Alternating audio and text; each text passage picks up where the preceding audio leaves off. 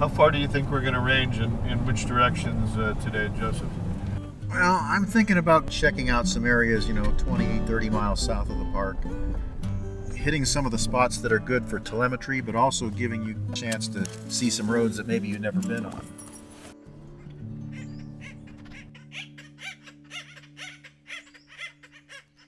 We're in Pinnacles National Park, about an hour and a half drive from San Jose. It's a dramatic landscape and an excellent place to see California condors. In the 1980s, only 22 California condors were left in the world. Amid great controversy, those 22 birds were captured and bred in captivity. Over time, the plan worked. Today, more than 300 California condors soar over Mexico, Arizona, Nevada, and Utah, as well as California. The species is back from the brink of extinction. And humans are still working to make sure they stay safe. All of the adult birds are fitted with ID tags and radio transmitters. Some have GPS transmitters as well. Here at Pinnacles, conservation biologist Joseph Belli is a volunteer monitoring their movements outside the park. Twice a week for the past 11 years, he's spent a day driving nearby roads, frequently stopping at high points to wave his antenna. That's what we do. We uh, pick a spot and we go through the entire flock, about 85 birds. And each bird has a number. What, what's it sound like? Some sound like beeps, and others sound like an electronic sneeze. If a condor's transmitter hasn't moved in a while, it beeps or sneezes in double time. That could mean a dropped transmitter or a dead battery, or it could mean the bird's in trouble. Either way, Belli alerts the park to investigate.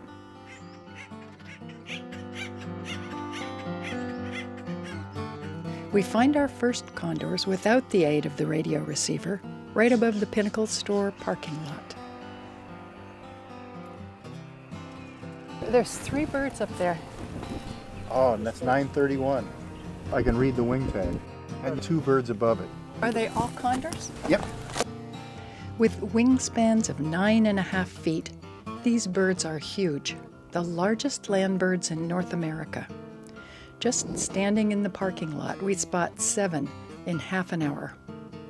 Belli gets signals from a dozen or more. The rocks for which the park was named provide plenty of suitable nesting and roosting habitat.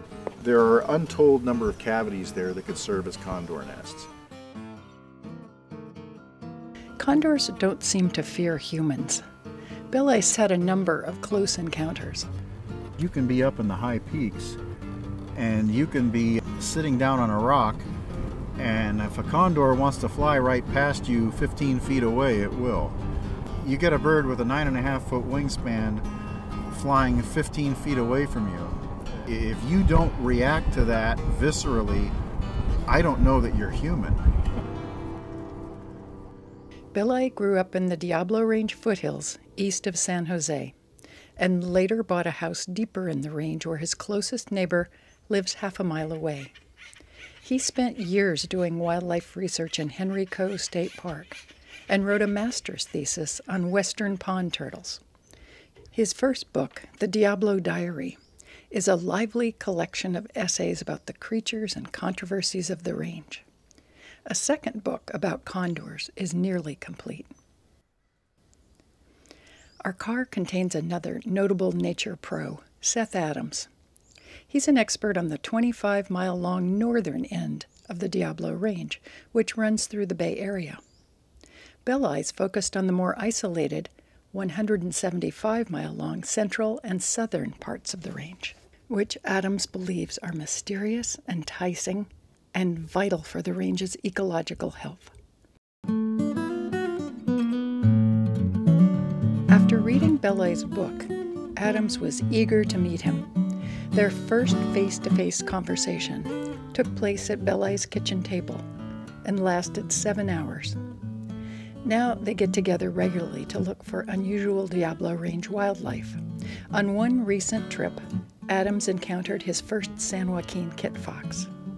On another, They drove deep into the night and found kangaroo rats, antelope squirrels, and blunt nosed leopard lizards.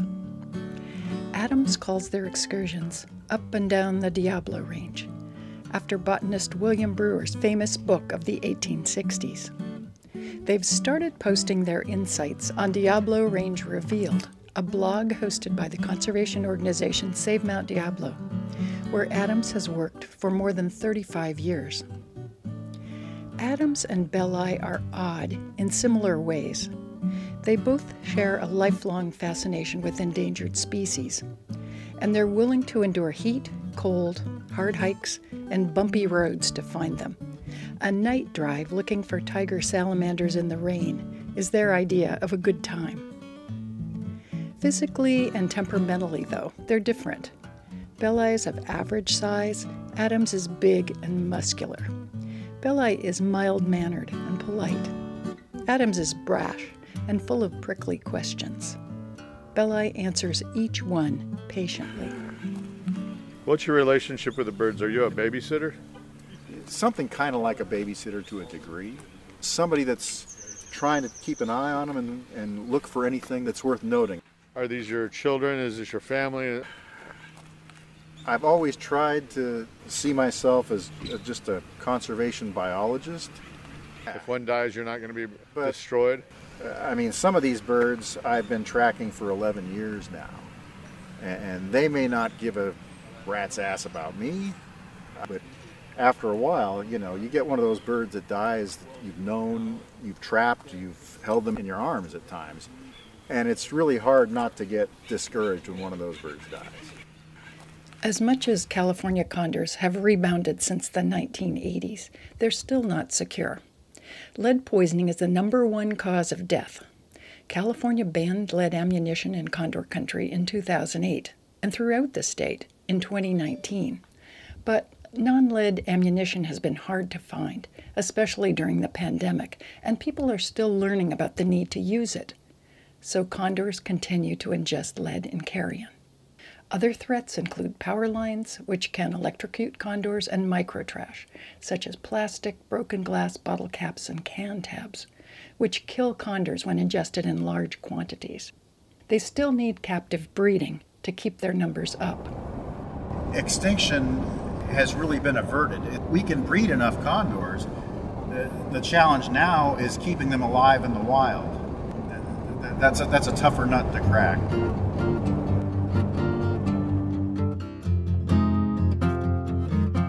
After about an hour at Pinnacles, we head south and east. There's lots to see in every direction, with scenery straight out of the Wild West. We see big swaths of a shrub that dominates the chaparral, up north, chamise. But here, chamise stands beside desert sentinels like yucca. Tule elk roam the ridges. Some of the valleys are lined with trees. Got a nice riparian forest here of willows, cottonwoods. Have you ever seen a condor in this area? Yeah, they, they fly over here quite a bit. Occasionally they'll, they'll be down here on the flats feeding. So we're only about five, six miles east of the park, and it's not at all unusual for them to hang out above here and to the east. Pinnacles and two sites closer to the coast are release sites for condors bred in captivity at zoos and other facilities around the West. They come to these sites at age 18 months. They climatize in an outdoor pen for another two months or so, and then are released to the wild. At that point, they're free to roam, but the Pinnacles flock tends to stay right around Pinnacles. They undoubtedly like the good habitat and free food the park puts out to trap them for biennial health checks. But their allegiance to the park may also have to do with what Belli calls condor culture. I really believe because the birds are so social, they kind of hang out where other birds hang out. If you get a few birds here, you're going to get more. You know, it's one of those things.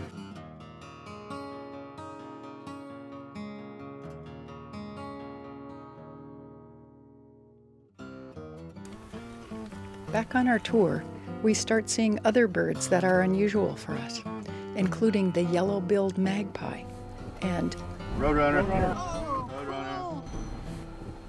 At one point, we pass close to four eagles standing in the dirt.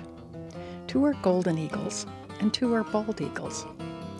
It's always exciting to see one eagle of either species, and here are four just casually hanging out.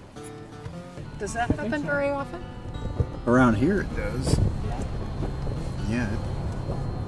At another stop, we walk over a bridge to study a pitifully small creek winding through a baked brown landscape. A small pair of eyes peers up through the duckweed. Then we look harder.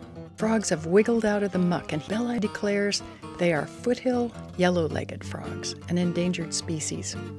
He wonders if this could be the first sighting of the species in watersheds just east of the Salinas Valley.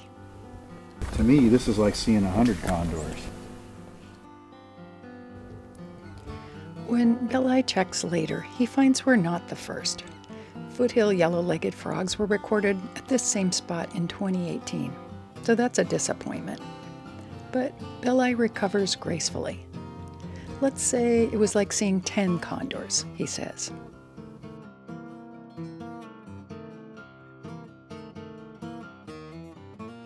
What's the most important bird you've ever done something with? And I would probably have to say two birds, I, I, I can't just say one. One is 340. He claimed this territory around 2013 or so, and I think he's sired three or four chicks now.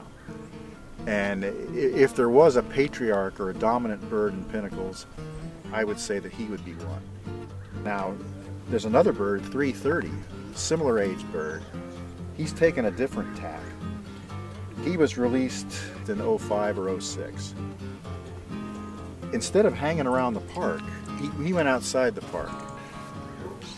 Our goal is to trap each bird up to two times a year for physical health checks. Well, from 2010 to 2016, we didn't catch him. But we finally trapped him in 2016. We put a GPS on him, and we could see he wasn't hanging out in the park. He wasn't far, but he would very rarely come back to the park. Adams, of course, would love to have condors come back to the northern part of the Diablo Range. For years, I've been telling people that if we pr- protected enough land around Mount Diablo and made sure it stayed connected to the Diablo Range, that eventually California condors would come back. We had brought peregrine falcons back, golden eagles were doing pretty well, um, and, and protect enough habitat and California condors would come back. Adams' statement was the buildup to an announcement Belli made at the same event. And in the past, we've had birds fly up as far north as the outskirts of Livermore, but they never went as far as Altamont Pass. Well, a couple of weeks ago, one of our young birds, 828, uh, went beyond Altamont Pass, went to uh, Morgan Territory, Round Valley, flew around just east of Mount Diablo for about an hour or two, and then headed back down south.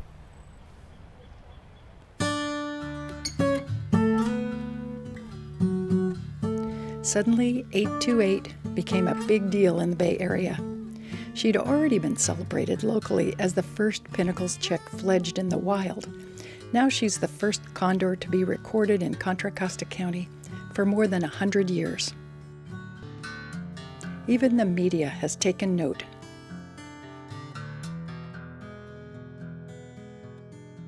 So, north and south, the Diablo Range is connected. The condors are showing us what's in one part can enrich the other, which is why Adams wants to see as much as he can. Our tour route parallels the San Andreas Fault, the junction between the Pacific and North American geologic plates. Pancho Rico Canyon to the west of us is surprisingly precipitous, probably thanks to the dynamism of the fault. Wow. I can't think of another place around here that's quite like that. I mean, nobody at Pinnacles is aware of this. Forgotten landscape. We're also near Parkfield, California, where U.S. Geological Survey scientists study earthquakes along the San Andreas Fault. Suddenly, Adams pulls out his phone and dictates a text message to some colleagues at work. San Andreas Fault. National Monument. I ask for clarification. Let me introduce you to the San Andreas Fault National Monument. How could you not want to preserve the most distinctive feature of the entire state? Visible from space.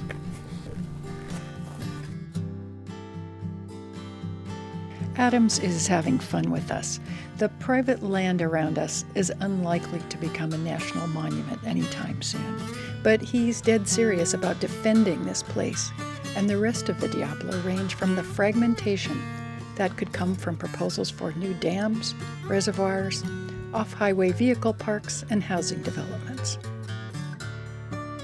The organization Adams works for, Save Mount Diablo, has helped add more than 110,000 acres of protected open space to the northern part of the range.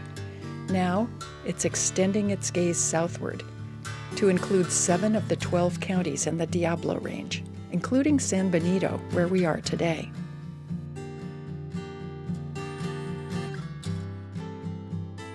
Toward afternoon, I noticed that we haven't actually seen any condors since the Pinnacles parking lot. But that's okay. I'm more than satisfied with Belli's stories and the surprising sights we've seen. I asked Adams for his assessment. What's an up and down the Diablo Range trip meant to accomplish? Is it just for fun? Obviously not. It's for exciting the imagination.